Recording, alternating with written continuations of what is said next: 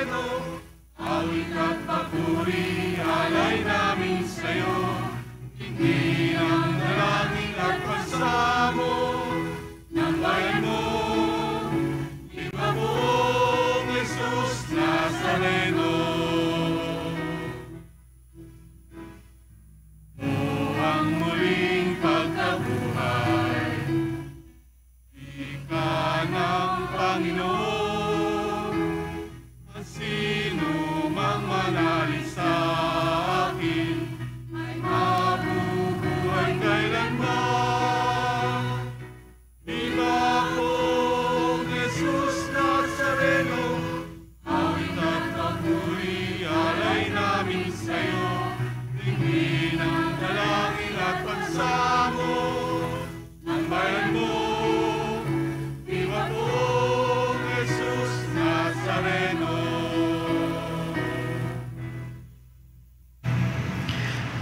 Tayo nagtipon sa ngalan ng Ama at ng Anak at ng Espiritu Santo Amen. ang pagpapala ng ating Panginoong Kristo, ang pag-ibig ng Diyos Ama, at ang pakikipagkaisa ng Espiritu Santo, naway sumainyong lahat. At sumaiyo rin. Mga kapatid, aminin natin ang ating mga kasalanan upang tayo maging marapat gumanap sa banal na pagdiriwang. Inaamin ko sa makapangyarihang Diyos At, sa inyo, mga kapatid, na luba akong nagkasala sa isip, sa salita, at sa gawa, at sa aking pagkukulang. Kaya sinasamo ko sa mahal na Berhing Maria, sa lahat ng mga anghel at mga banal, at sa inyo, mga kapatid, na ako'y panalangin sa Panginoong ating Diyos. Kawan tayo na makapangyarihang Diyos, patawarin tayo sa ating mga kasalanan, at patnubayan tayo sa buhay na walang hanggan. Amen.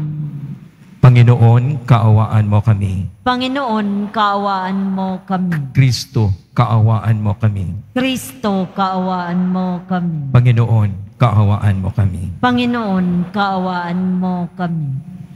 Manalangin tayo.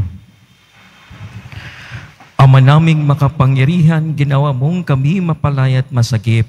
Dinggin mo ang aming magnamakaawang tinig at gawin mong kami iniligtas ng dugong dumanak sa mahal mong anak at makapamuhay sa iyong pamamagitan at makasapit sa iyong maligaya at matiwasay sa pamamagitan ni Yesu Kristo kasama ng Espiritu Santo magpasawalang hanggan. Amen. Magsiupo muna ang lahat.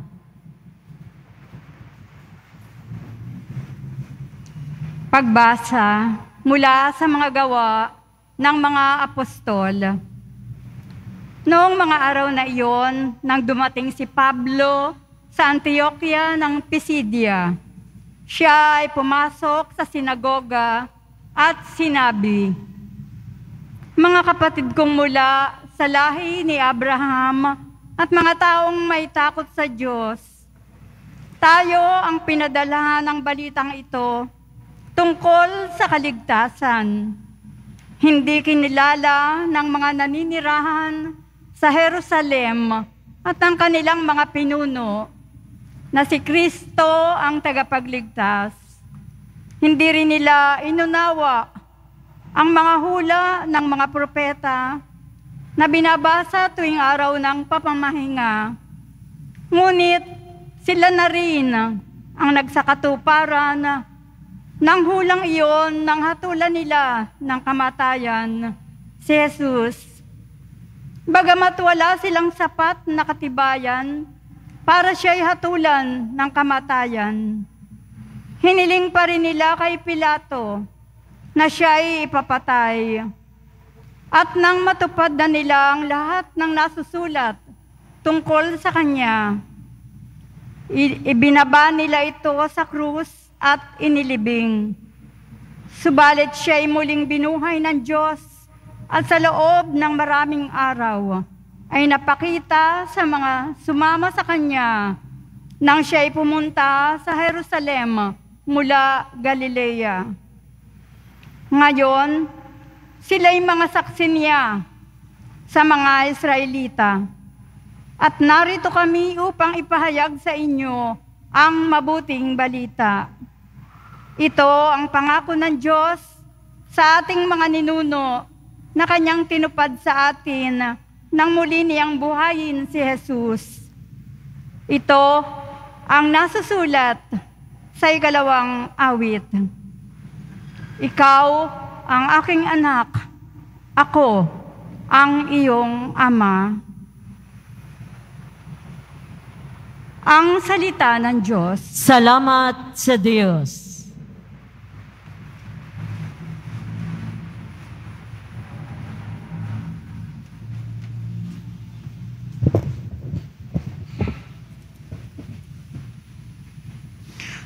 Anak ng Diyos kailanman, sa simula pa sumilang. Anak ng Diyos kailanman, sa simula pa sumilang. Tungkol sa akin ay sinabi ng poong Diyos sa bundok kong mahal. Sa tuktok ng Siyon, aking iniluklok ang haring marangal. Ganito ang sabi ng lingkod ng poon na hari sa Siyon Aking ihahayag ang ipinag-utos nitong Panginoon. Ikaw ang anak kong pinakamamahal at mula ngayon, ako naman ito ang giliw mong ama sa habang panahon. Anak ng Diyos kailanman, sa simula pa sumilang. Hingin mo sa akin ang lahat ng bansa at ibibigay ko Anumang narito sa buong daigdig ay magiging iyo. Pamamahalaan mo ng kamay na bakal ang lahat ng ito. Tulad ng palayok, durugin mo sila sa mga kamay mo. Anak ng Diyos kailanman, sa simula pa sumilang. Kayong mga hari at tagapamuno ng lahat ng bansa. Mag-ingat kayo at magpakabuti sa pamamahala. Ang Panginoong Diyos inyong paglingkurat, katakutang lubha. Anak ng Diyos kailanman, sa simula pa sumilang, magsitayo na po ang lahat.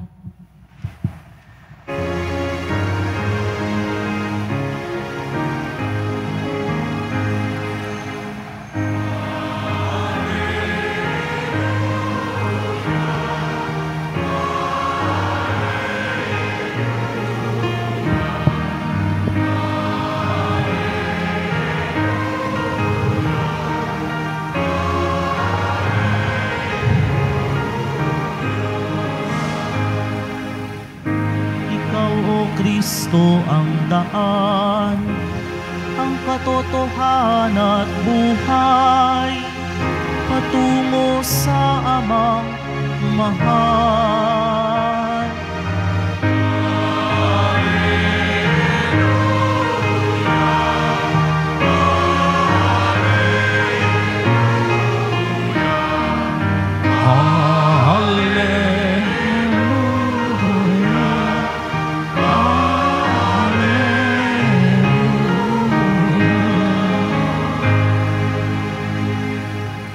Sumainiyo ang Panginoon, At sumaiyo rin. ang mabuting balita ng Panginoon ayon kay San Juan. Papuri sa iyo, Panginoon.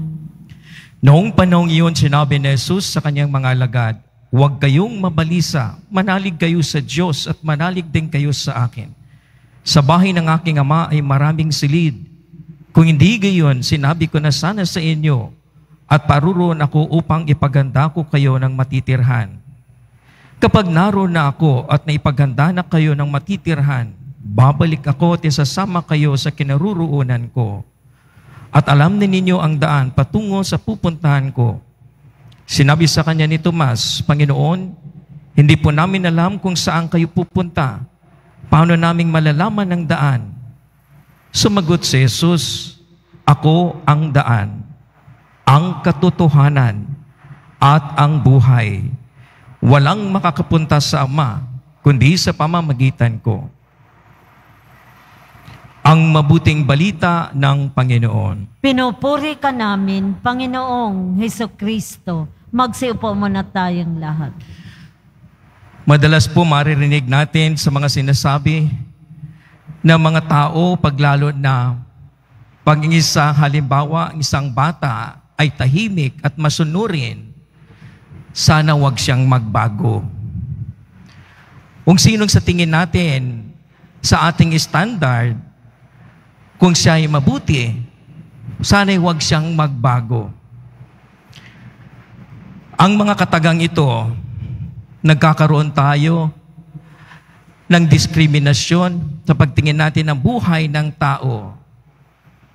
Kaya ang iba nagtataka na halimbawa sa bata pa lamang ang bait ng batang yan, tahimik lang siya, masunurin siyang bata. Sana wag siyang magbago.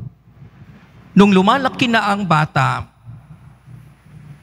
at kinakailangan na niyang maggagawa sa kanya mismo ang pag-iisip, ano ba namang batang ito? Wala namang pagbabago, hindi na nagsasalita. Ano man ang batang ito? Wala ang creativity. Bakit parang ganyan na lamang siya? Kakaiba yung ating pagtingin sa isang tao, nilalagay natin sa kahon. Pag okay siya sa aking pananaw na ito, dapat gano'n na lamang siya. Huwag na siyang magbago.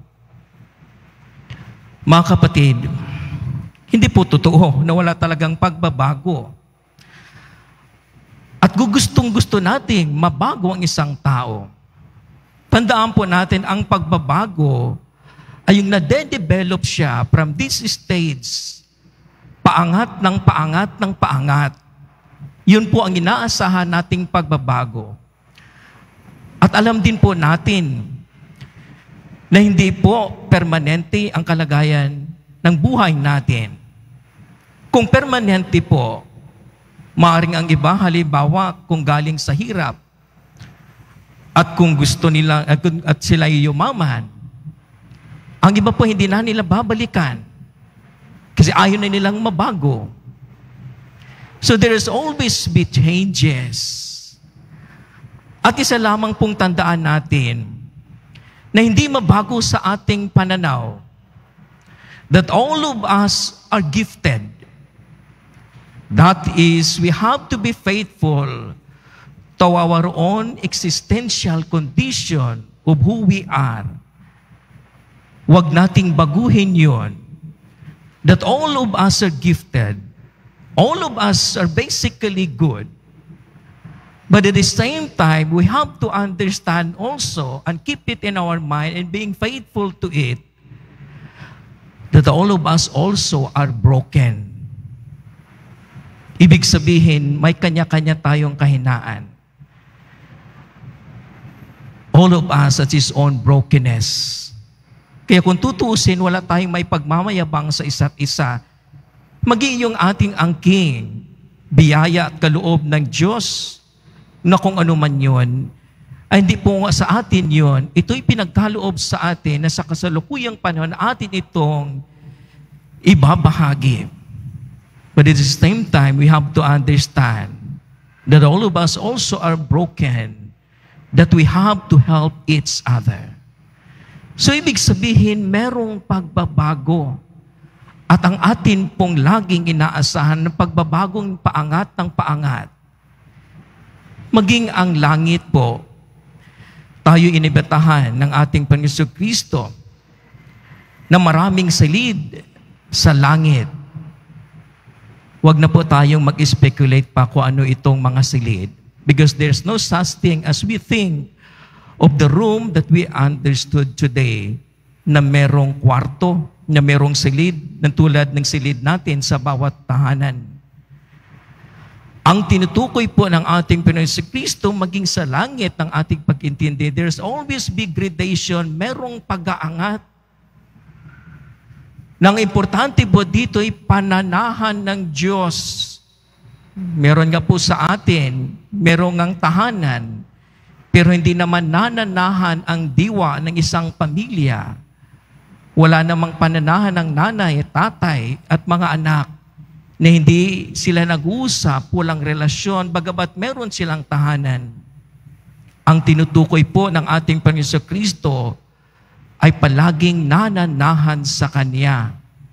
Kung wala po tayong silid, walang room sa bawat isa sa atin, dahil ang iba sa atin mayabang at napapabayaan yung iba, then there is always be a room sa ating Panginoong Heso Kristo, tayo'y tanggap niya.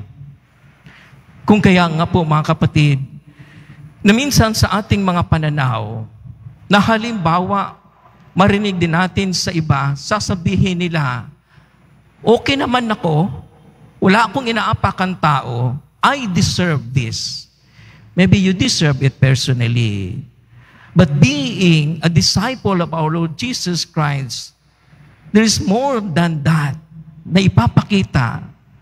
Wala kang inapakan tao, wala kang nasagasaan, baka naman wala ka ring natutulungan. O baka naman yung ating pagtingin ng ating religyosidad, yung ating spiritualidad, ay nandoon na lamang sa pagtirik ng kandila. Naroon na lamang sa pagluhod at paghingi ng ating mga intensyon, ng ating dinudulog sa Diyos. Pero there is more than that, na yung ating pasimula ng ating mga kilos at galaw, ng ating pagsamba, it will develop more and more. Inaangat tayo patungo sa langit na ibig sabihin na hindi pa baba at hindi pa urong, kundi idinudulog natin ang ating pagkatao, ang ating panalangin, ang pagbabago na lumago at na lumago sa pananahan ng Diyos that we are always welcome.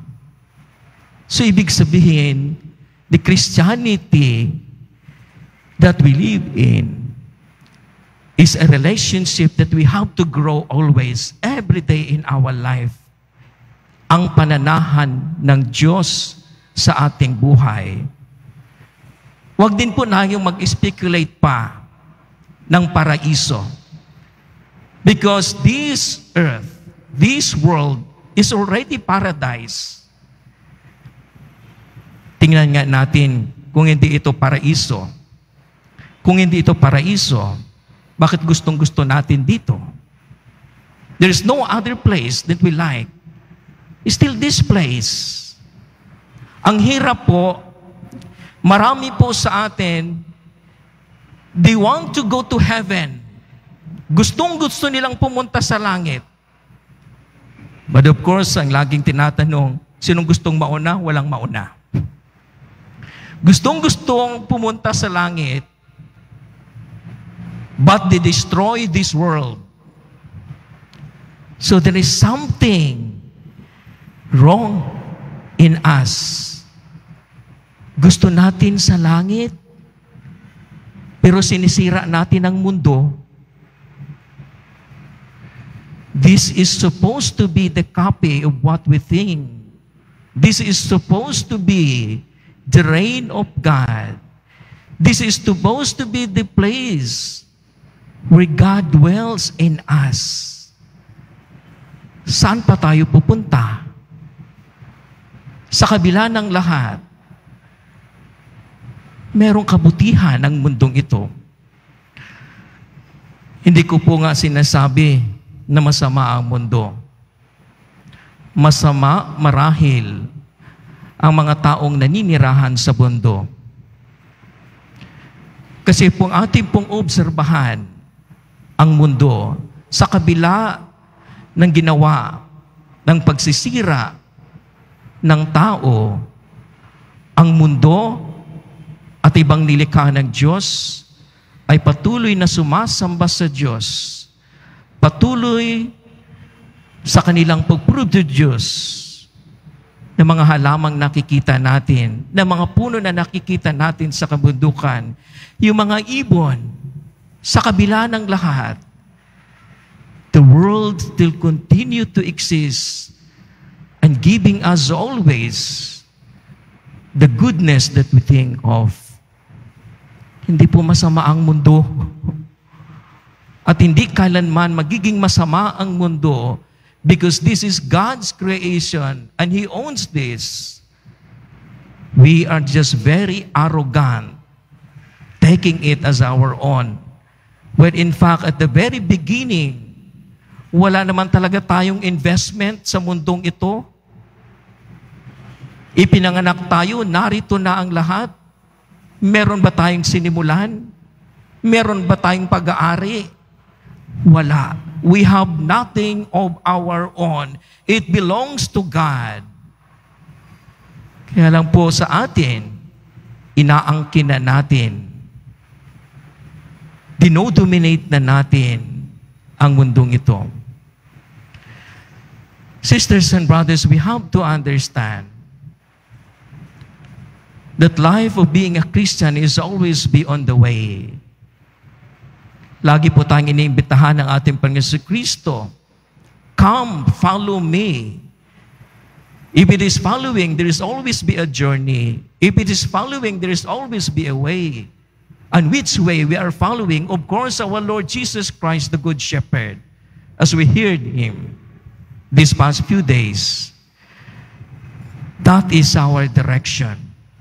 We know that this is the permanent. Maging po sa ating estado ng ating buhay, kalagayan, at ating nararamdaman, hindi po siguro buong buhay ninyo ay talagang nakakaramdam na ng pait at sakit, merong konti na kaligayahan. At hindi po sa lahat ng panahon at oras, nararamdaman natin ang kaligayahan, merong sakit at pait. There is always be the experience of pain and glory. And that is what Jesus Christ leading us to. Kung kaya nga pinapasunod niya tayo dahil siya ang kabuuan ng ating pagkatao at maging ang ating pagka-Diyos na narito sa atin ng biyayang kaloob sa atin ng Diyos na ating isalang-alang. Yun po ang ating buhay. We have nothing of our own. Nawawala po sa atin at hindi natin nadadala kung saan man ang huling hantungan natin. Ang mga bagay na ating hinihingit, minsan pinag-aawayan, ay hindi natin nadadala. Kaibigan nga, wala nga ding permanent. Kaibigan mo ngayon, sumunod na araw, kaaway mo na. What remains in us, sisters and brothers, is God. Kaya nga lang po, kung ano yung nananatili sa atin, ay sinaman nating binabaliwala. Siya nating ini-ignore. Kaya nga lagi nating pinapaalala sa, pinapaalala sa atin, seek ye first the kingdom of God. Ang tahanan o ang silid na inhanda sa atin ng Panginoon ay ang kanyang sarili. Siya mismo.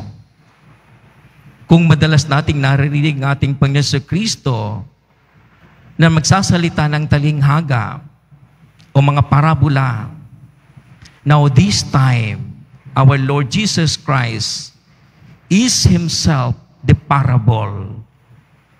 I am the way. Ako lang talaga ang daan. I am the truth. The truth is, wala akong binabribe sa inyo na pag sumunod kayo sa akin, ay talagang kahalangayaan na ng buhay. There is always be pain as we think also of the glory of God. And lastly, He is the life. That is our life. Sisters and brothers, there are three C's that Christianity is not. Christianity is not just the creed. Ibig sabihin, yung ating mga turo, hindi lamang po iyon. Minsan nga sa mga turo, nag-aaway-away ang mga tao because they try to insist. Another thing that Christianity which is not it is not a code. Ibig sabihin hindi po batas mga palisiya ang ating simbahan. And lastly It is not also the the cult. Ibig sabihin, hindi lamang po sa ritual, hindi po lamang sa pagluluhod natin, hindi po lamang sa ating pagsisindi ng kandila, hindi po lamang sa ating mga gestures ng ating pagsisimba. Above all, to be a Christian and what Christianity is, it is always be the relationship of God and to one another. Yun po ang ating pagiging Kristiyano. Yun po ang inasa nating pagbabago. Pagbabagong mapalalim ang ating relasyon sa Diyos while at the same time, nagbabago ang ating relasyon at napapalalim ang relasyon natin sa isa't isa. Because there are many times, ang ganda ng gesture mo, ganda ng pagluhod mo, ang ganda ng pag pipikit-pikit mo sa loob ng simbahan, paglabas mo, para manghambalos ka ng kapwa. Ang ganda-ganda ng mga palisiya mo, pero paglabas mo sa kabuuan ng buhay ng tao, ay hindi mo naalala na dapat magiging mauwain ka. Dapat understanding ka. So basically, for us, our relationship with God deepens as the way we relate to one another also highlights in our lives. Magsitayo na po ang lahat.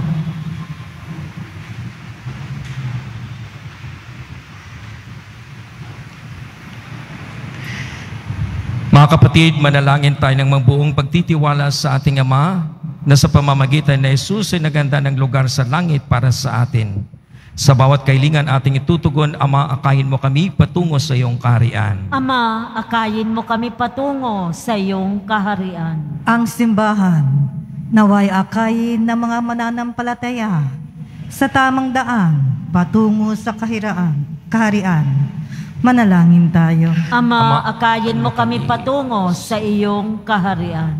Ang mga naglilingkod sa pamahalaan, naway maging mga buhay at mabisang kasangkapan sa pagbabago sa ating lipunan.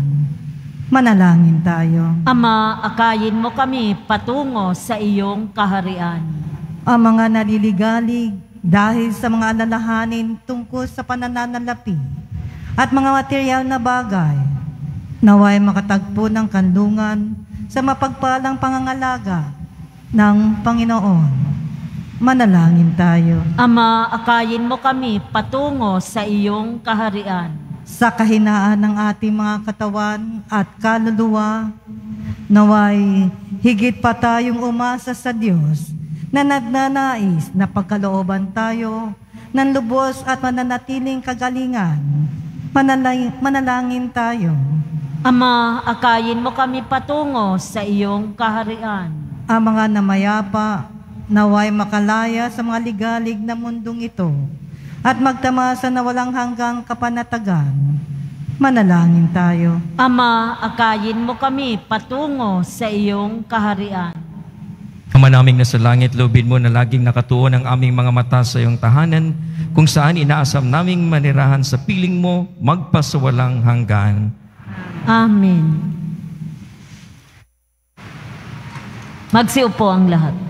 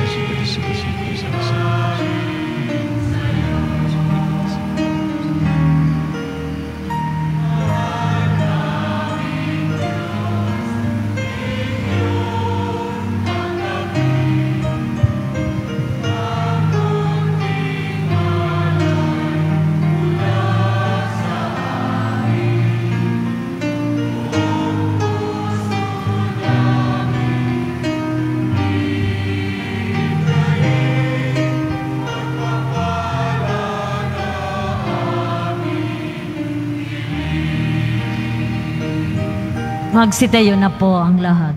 Manalangin kayo mga batid upang paghain natin ay kalugdan ng Diyos amang makapangyarihan sa lahat. Tanggapin nawa ng Panginoon itong paghahain sa iyong mga kamay, sa kapurihan niya at karangalan, sa ating kapakinabangan, at sa buong sambayanan niyang banal. Ama naming lumika, tanggapin mo at kalugdan ang mga alay ng iyong angkan upang sa tulong ng iyong paglingap at pagsubaybay, ang bigay mo sa aming puhunan ay hindi masayang, kundi tumubo pa ng mga kaloob mong walang katapusan sa pamamagitan ni Yesu Kristo kasama ng Espiritu Santo, magpasawalang hanggan. Amen.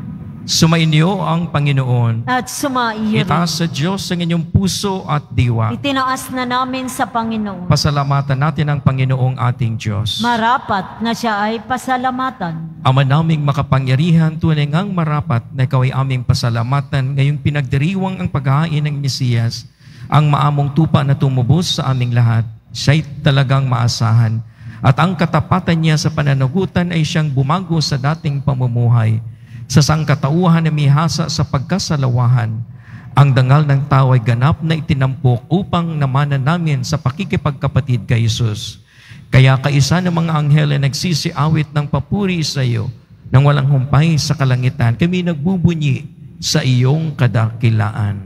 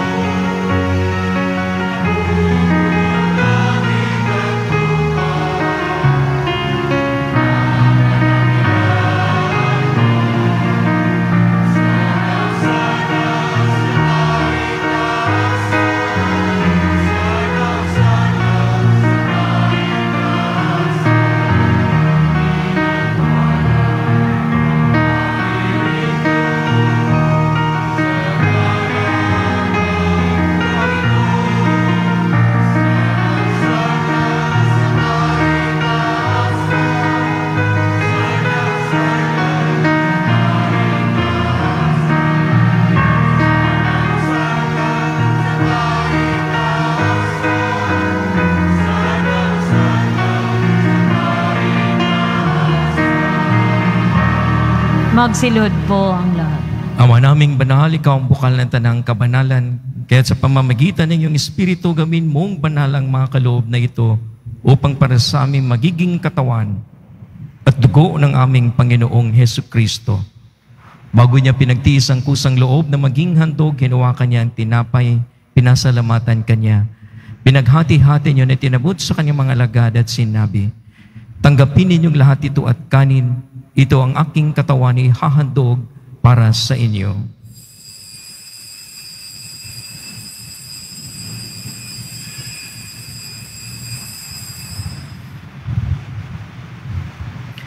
Ganyan din naman nung matapos ang apunan, hinawakan niya ang kalis, muli kanyang pinasalamatan. Inabot niya ang kalis sa kanyang mga lagad at sinabi, Tanggapin ninyong lahat ito at inumin ito ang kalis ng aking dugo ng bago at walang hanggang tipan.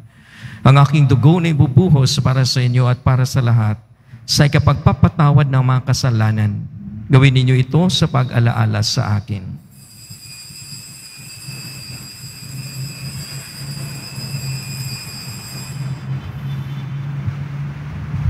Pagbunyi natin ang misteryo ng ating pananampalataya. Si Kristo'y namatay, si Kristo'y nabuhay, si Kristo'y babalik sa wakas ng panahon. Ang mga ginagawa namin ngayon ang pag-alaala sa pagkamatay at muling pagkabuhay ng iyong anak, kaya tinaalay namin sa iyo ang tinapay na nagbibigay buhay at ang kalis na nagkakaloob ng kaligtasan. Kami nagpapasalamat dahil kami yung minarapat na tumayo sa harap mo para maglingkod sa iyo. Isinasamo namin kami magkasalo-salo sa katawan at dugo ni Kristo ay mabuklod sa pagkakaisa sa pamamagitan ng Espiritu Santo.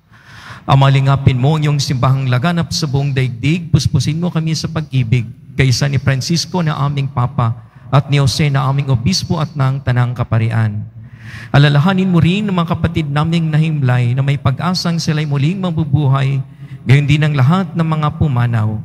Kawaan mo sila at patuloyin sa iyong kaliwanagan. Kawaan mo at paging kaming lahat na makasalo sa iyong buhay na walang wakas. Kaysa ng mahal na Birhing Maria na ina ng Diyos, ng kabiyak ng puso niyang si San Jose, kaysa ng mga apostol ni San Juan Bautista at ng lahat ng mga banal na namuhay dito sa digdig ng kalugod-lugod sa iyo, maipagdiwang nawa namin ang pagpupuri sa ikararangal mo sa pamamagitan ng iyong anak na aming Panginoong Yesu Kristo. Sa pamamagitan ni Kristo kasama niya at sa Kanya ang lahat ng parangal at papuri ay sa iyo, Diyos amang makapangyarihan kasama ng Espiritu Santo magpa sa walang hanggan.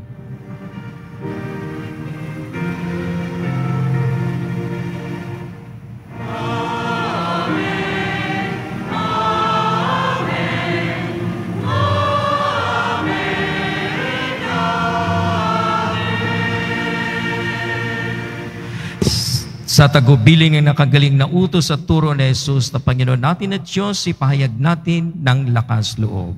Ama namin, sumasalangit ka. Sambahin ang ngalan mo. Mapasa amin ang kaharian mo. Sundin ang loob mo dito sa lupa para ng sa langit. Bigyan mo kami ngayon ng aming kakanin sa araw-araw. At patawarin mo kami sa aming mga sala para ng pagpapatawad namin sa nagkakasala sa amin. At huwag mo kaming ipaintulot sa tukso. At iadya mo kami sa lahat ng masama.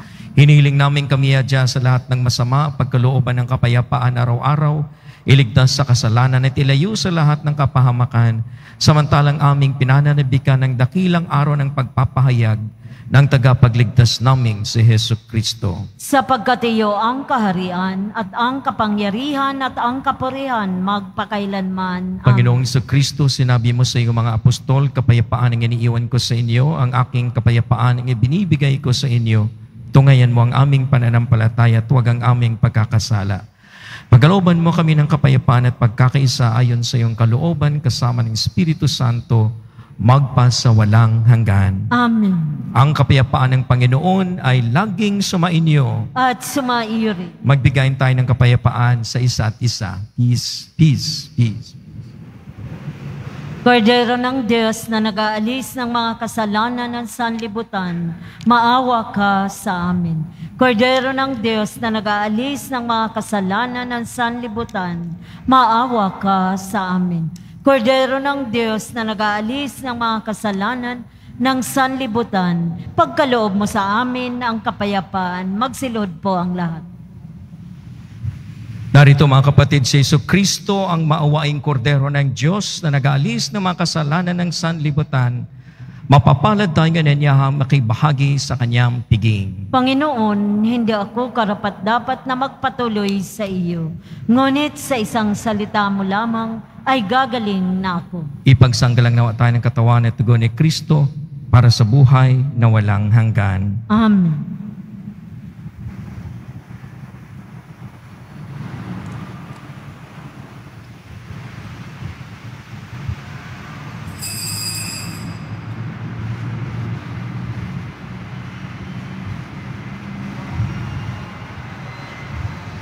Para sa lahat ng tatanggap ng banal na komunyon, sasagot po tayo ng amin pagkasabi ng pari o ng lay minister ng katawan ni Kristo at isubo agad sa bibig bago umalis sa harapan ng pari o lay minister. Sumunod po tayo. Maraming salamat po.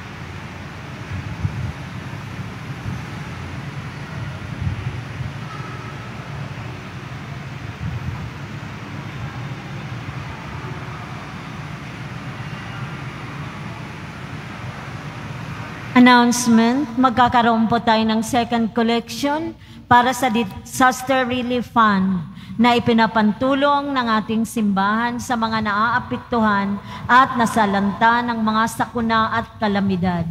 Tumulong po tayo. Maraming salamat po.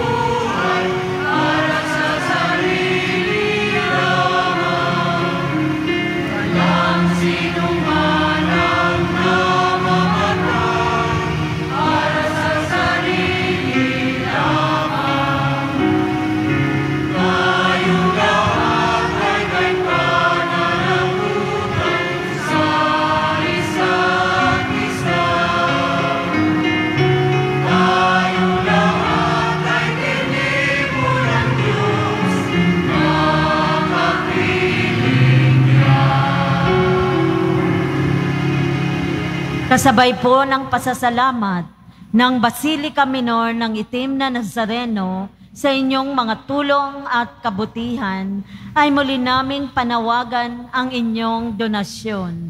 Tulad ng bigas, noodles, dilata at okan goods, instant coffee, sabong, panligo at panlaba at bottled waters para sa patuloy nating pagtulong sa mga kapatid nating higit na nangangailangan, lalo na sa panahon ng kalamidad. Maraming salamat po sa inyong pagsuporta.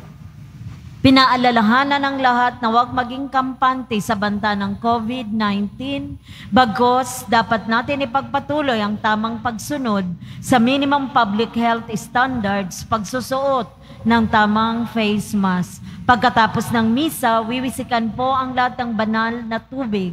Pinakikiusapan ang lahat na manatili lamang muna sa inyong mga lugar. Tanging sa Quezon Boulevard o sa Plaza San Juan lamang ang labasan ng lahat. Sumunod po tayo. Maraming salamat po sa inyong pagdalaw at pagsisimba sa Basilica Minor ng Itim na Nazareno. Magsitayo na po ang lahat. Panalangin tayo. Ama naming mapagmahali, pagpatuloy mo ang iyong matapat na pagsubaybay sa iyong mga dinudulutan ng kaligtasan upang ang mga pinagpakasakit na sagipin ng iyong anak ay makinabang sa pagkabuhay niyang nagbibigay galak sa pamamagitan niya kasama ng Espiritu Santo magpas sa walang hanggan. Amen. Sumainyo ang Panginoon. At sumaiyo rin. Mahal na poong Jesus Nazareno, inahayag mo sa pamamagitan ng krus ang walang maliw na pag-ibig ng Diyos sa sangkatauhan. Pakinggan mo ang kahilingan ng iyong angkan na nagsusumamo sa iyo. Makamtanaw nila ang iyong katugunan at tanggapin ang kasagutan ng may utang na loob na tinatanaw Basbasan din po ninyo ang mga daladala nilang mga imahin at dasalan sa pamamagitan ng bendisyon na ito.